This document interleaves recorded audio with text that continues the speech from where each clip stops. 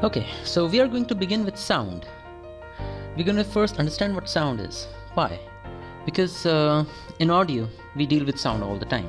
Okay, so you cannot do good audio production until you know some basic characteristics of sound. So, what is sound? Uh, we all know what sound is actually. Uh, sound is what we hear. Whatever comes to our ears through air uh, that we hear, that is sound. Okay, that's a layman's explanation of sound. Now, let's see what the formal definition of sound says. Now, according to Wikipedia, I've pulled up this definition from Wikipedia, and according to Wikipedia, this is what sound is.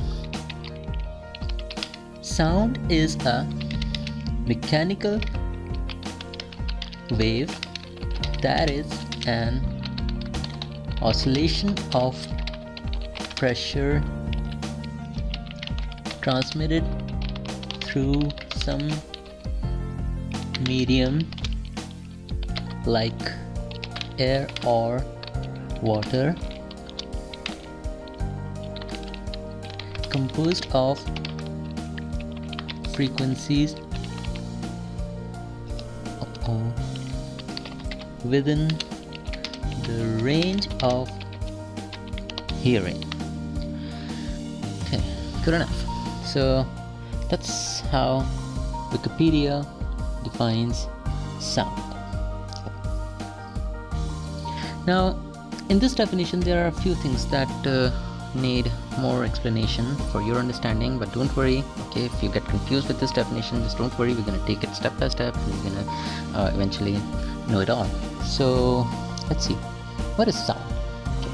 sound is a mechanical wave that is an oscillation of pressure transmitted through some medium like air or water composed of frequencies within the range of hearing now there are a few things that need uh, we need to remember such as sound is a wave. It's probably the most important thing to remember in this definition that sound is a wave. Okay? And what is a wave actually that we're going to discuss very soon? So, sound is a mechanical wave that is an oscillation of pressure transmitted through some medium. Another important thing that sound needs some medium to travel, like air or water composed of frequencies okay? Third thing that we are going to deal with later on of course that is frequencies okay? So first of all we need to understand that sound is a wave okay? It's the result of wave energy okay? What is wave? Let's not worry about it. We're going to talk about it very soon. So it's a wave that's an oscillation of pressure transmitted through some medium okay? Now it simply says that sound needs some medium to travel from the source to the destination okay? Uh, it does not travel it cannot travel in vacuum such as uh, like other waves do like radio waves or light waves. They can travel through vacuum they don't need medium but not sound. Sound needs some medium okay? The sounds that we hear in our day-to-day life uh, most of the sounds we hear they come to us through air okay that's why it says like air or water composed of frequencies. Now what is frequency? Let's not worry about it right now. We're going to talk about it uh, very soon. Okay so let's see what we have learned so far. I'm going to show you something really cool. Here. Now whenever sound is produced, wherever it's produced, whatever kind of sound is produced, it's always the result of some kind of oscillation or, in other words, vibration. Okay?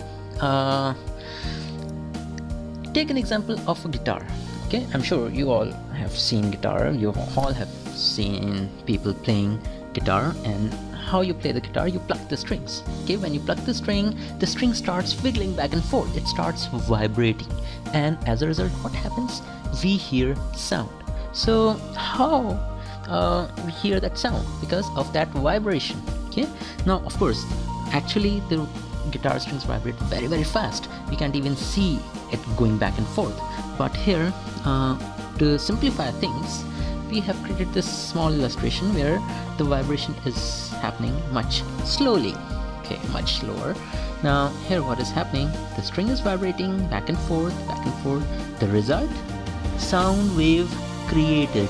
And the sound wave is created and it is traveling in all the directions in in, in three-dimensional space.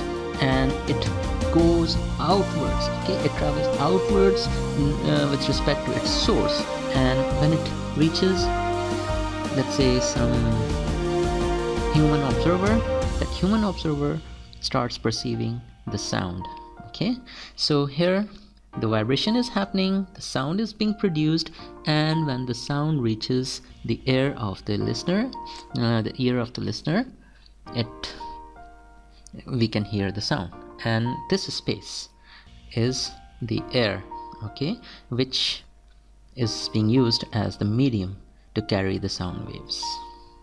In the next uh, in the next episode we are going to discuss what waves are and how um, waves are made and what are some basic properties of waves